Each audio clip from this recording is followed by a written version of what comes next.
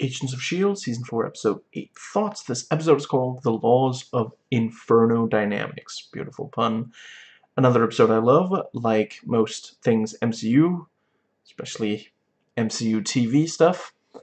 Spoilers for everything MCU leading up to and including this episode, but not for anything MCU that came out after this episode first premiered. Let's dive right in.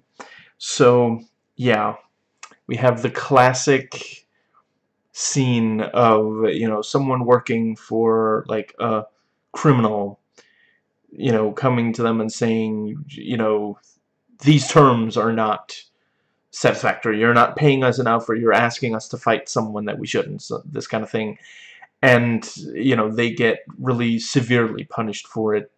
And because he has superpowers he makes he fills the guy's lungs with diamonds. So that's, yeah, wow.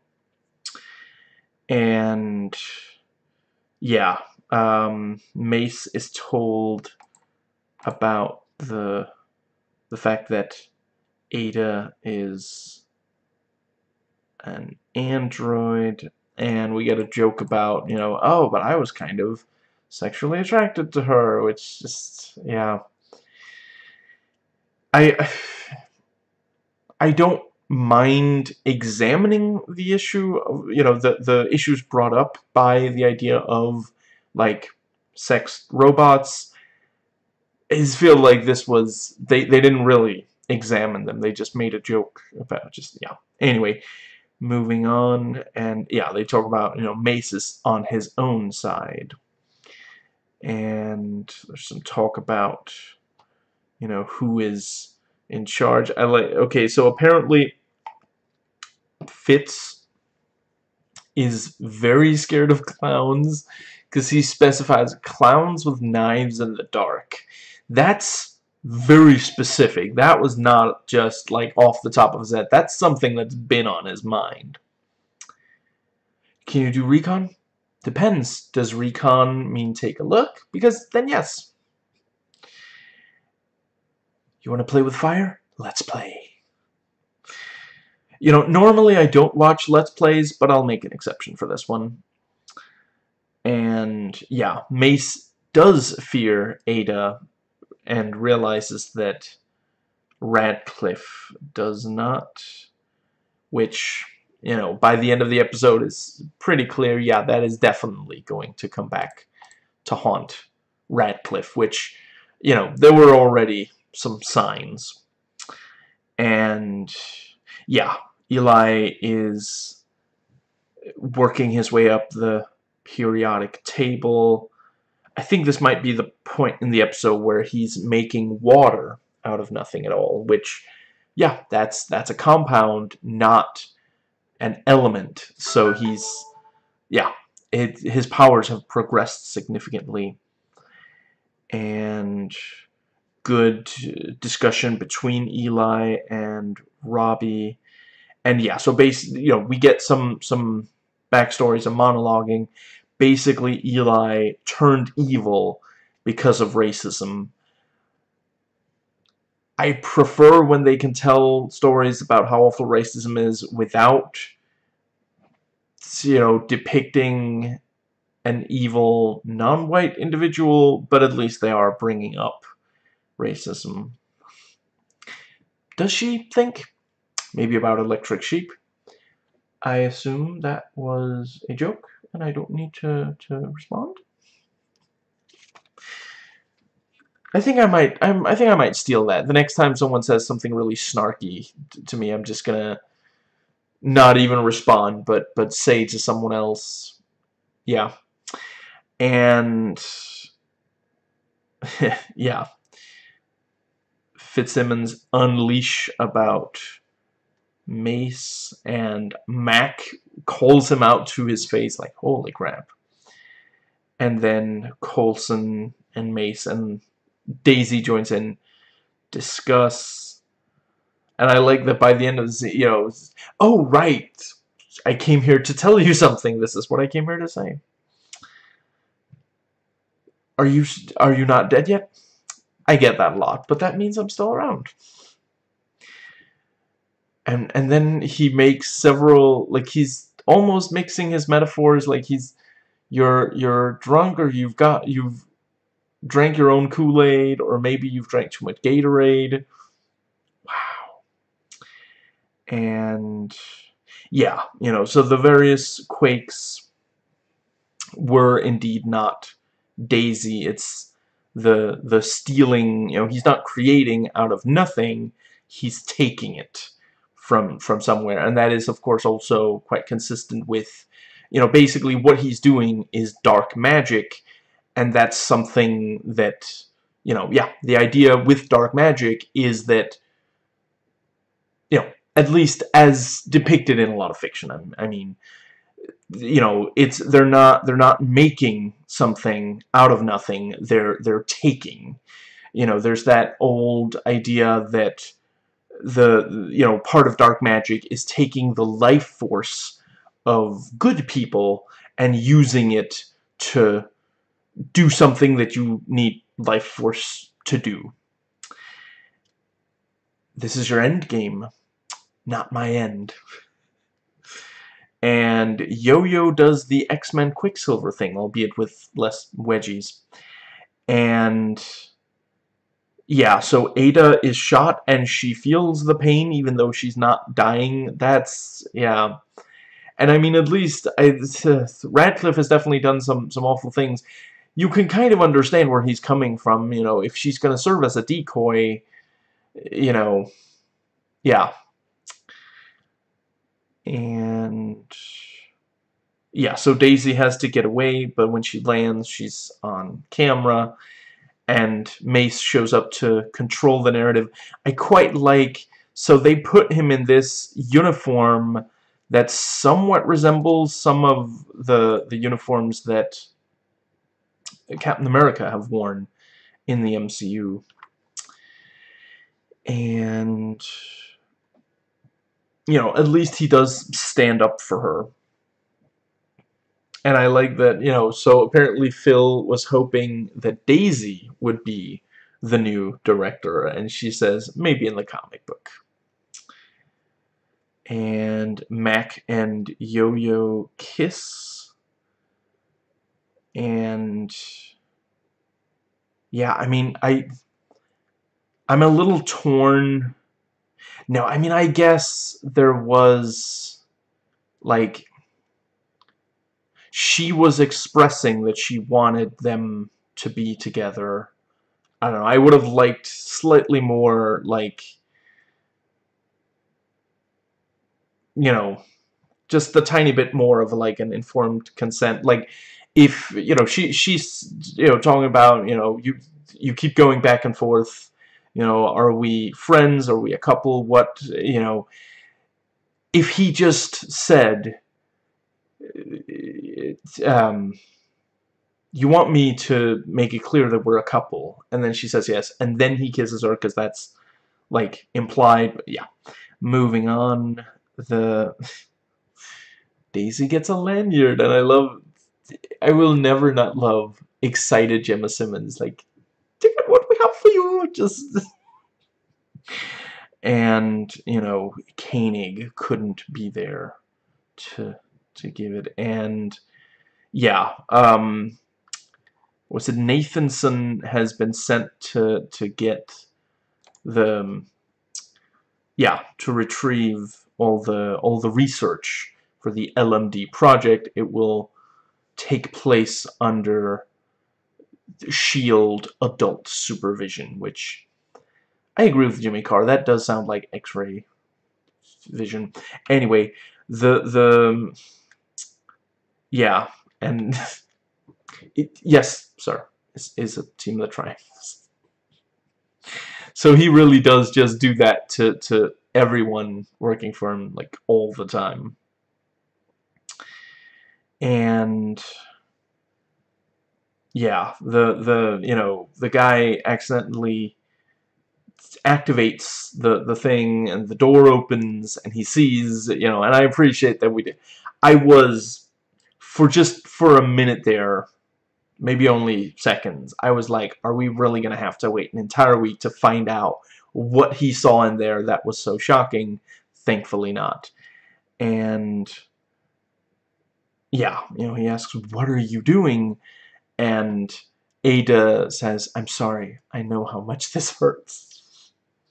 And snaps his spine.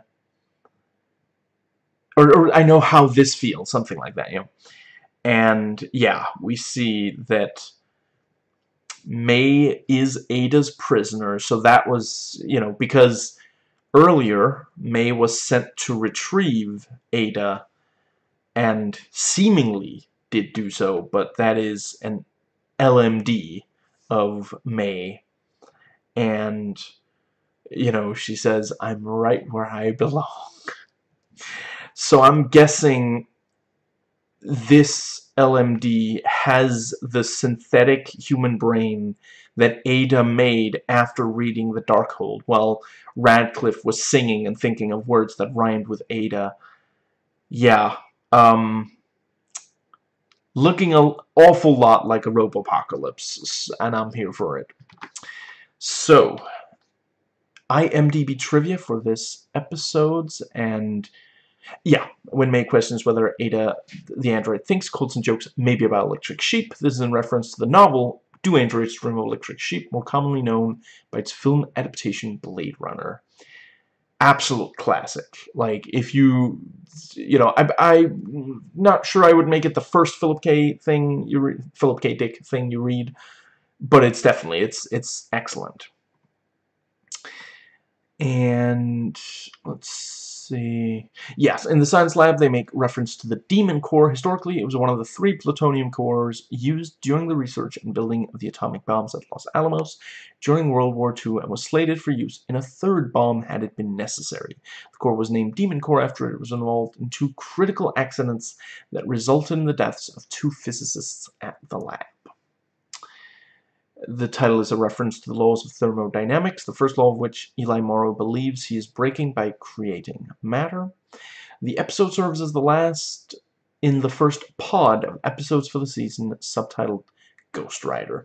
And this is quite a good way for Ghost Rider to go out. I can imagine this might be the very last time we see him and yeah, you know, Robbie really wanted to to make up for the yeah. And this is this is certainly something he can do to and let's see. Yeah, at the end Coulson implies Daisy should be director of S.H.I.E.L.D. Daisy Scoff says maybe in the comic book version there's a reference to the comic books where she does become director when Fury retires. Yeah, I had guessed that it was, it was something like that and let's see.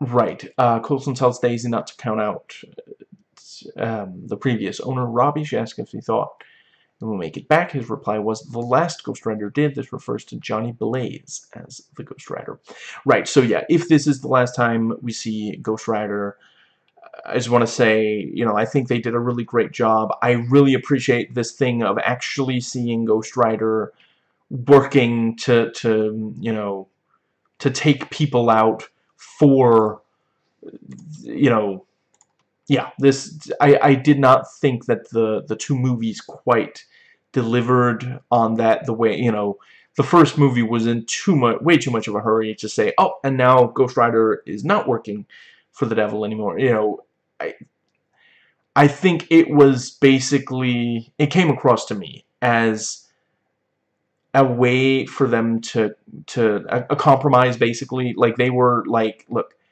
if you're gonna put this character who literally works for the devil, whose superpowers come from the devil, if you want to give him his own movie, you have to make him not work for the devil from extremely early on. And yeah, I, I really felt like this show's version of Ghost Rider delivered. And yeah, this one points out at 19 minutes. Uh, May, it's the it's the LMD of May that is boarding the Zephyr. And I think that might be about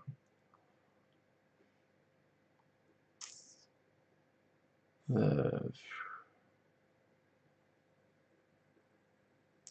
yeah uh, a number of the best lines from the episode are in the episode's IMDb memorable quotes section. And yeah um, I think so I'm just gonna real quick find the best one that yeah um I quite liked Daisy sarcastically saying I can't believe she's a robot. She's so lifelike. And Ada is like thank you. I'm learning. And yeah the the exchange I'm becoming a god. You better be because the devil's coming for you. That was also uh, you know yeah something that frustrated me in the first Ghost Rider movie. Not as much in the second one but they did right here is here no this is actually like we've gotten to see Ghost Rider do really cool stuff so him not quite being you know yeah, him being slowed down here feels satisfying also because it didn't just happen just like that. This is not someone who can just do that. Eli built this thing. You know, it, it took him a while to, to make this thing that is, to, yeah, making Reyes, so, yeah. And let's see. You don't have to twist my arm. I wouldn't dare. You might whip my ass.